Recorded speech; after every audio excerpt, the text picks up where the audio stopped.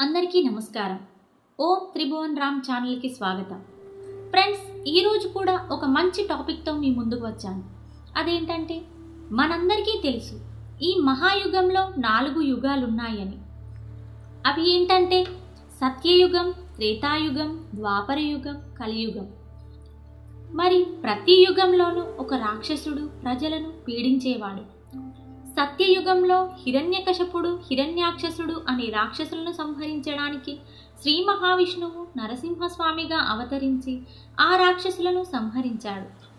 త్రేతాయుగంలో రావణాసురుడు కుంభకర్ణుడు వీరిని మహావిష్ణువు శ్రీరాముడిగా అవతరించి వారిద్దరిని సంహరించాడు.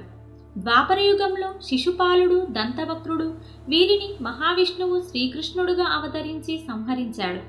ద్వాపరయుగం తర్వాత కలియుగం. మనముంది కలియుగంలోనే. మరి మనందరికీ ఒక ప్రశ్న వస్తుంది. మరి ఈ యుగంలో కూడా రాక్షసులు ఎవరు?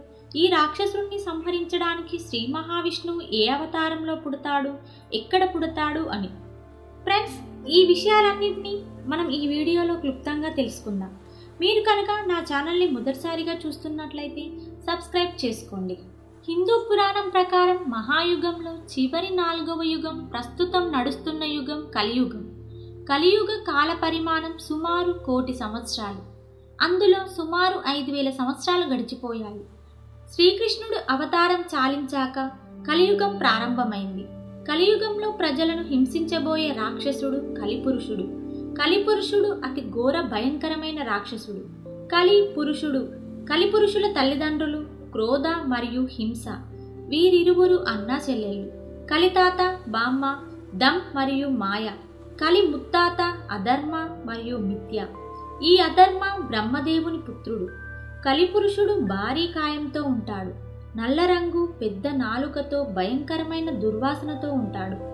శ్రీకృష్ణుడు తన అవతారం చాలించాక ధర్మరాజు మనవడు పరీక్షిత్ మహారాజు రాజ్యాన్ని పరిపాలిస్తున్నాడు.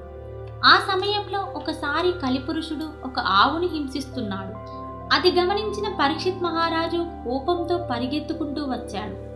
అప్పుడు ఆ ఆవు ఒంటి పాదంపై ఉంది. ఆ ఆవు ధర్మదేవత. పరీక్షిత్ మహారాజు కలిపురుషుణ్ణి తన ఖడ్గంతో హతమార్చబోయాడు. అప్పుడు కలిపురుషుడు తనని చంపవద్దని ప్రాధేయపడ్డాడు. శరణన్న వాడిని చంపకూడదని పరీక్షిత్ మహారాజు కలిని వదిలిపెట్టాడు. పరీక్షిత్ మహారాజుకు కలి ఎవరో తెలుసు. కలిని ఇలా అన్నాడు నిన్ను వదిలిపెడతాను.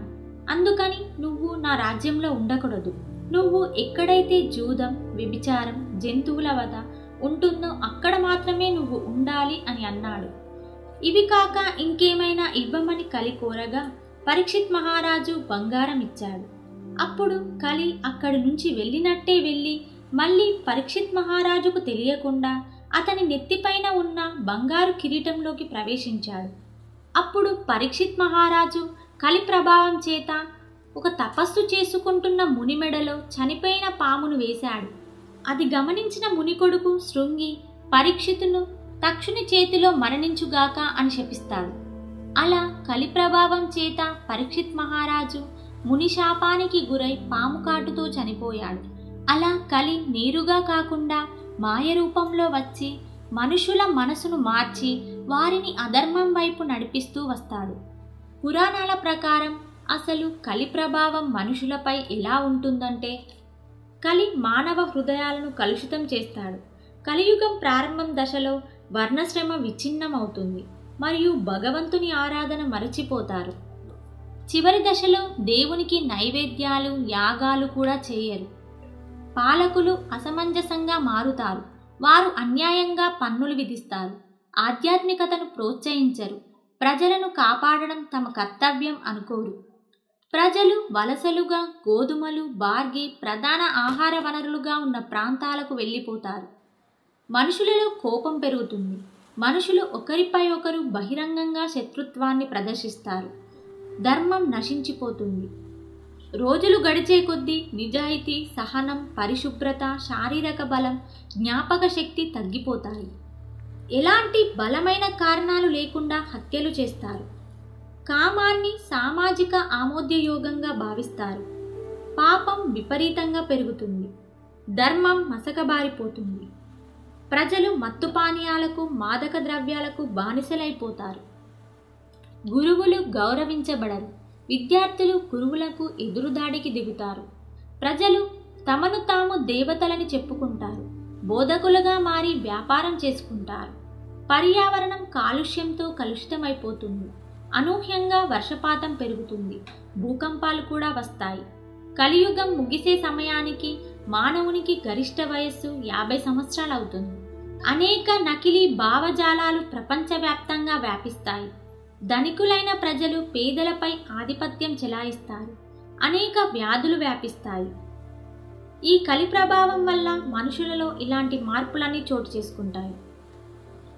ఇలా కలిమాయలో ప్రపంచమంతా అల్లకల్లోలం అయినప్పుడు శ్రీ మహావిష్ణువు దశావతారంలోని చివరి అవతారమైన కల్కి అవతారం ఎత్తుతాడు. ఈ కల్కి భగవానుడు శంబల అను నగరంలో విష్ణు యశస్సు అనే బ్రాహ్మణుని ఇంటిలో జన్మిస్తాడు. కల్కి భగవానుడు వీరఖడ్గం పట్టుకొని తెల్ల గుర్రంపై స్వారీ చేస్తూ దోపిడి దొంగలుగా మారిన అందరి నాయకులను సంహరించి తిరిగి సత్యయుగం ధరణిపై నడిపిస్తాడు. సో ఫ్రెండ్స్ విన్నారు కదా?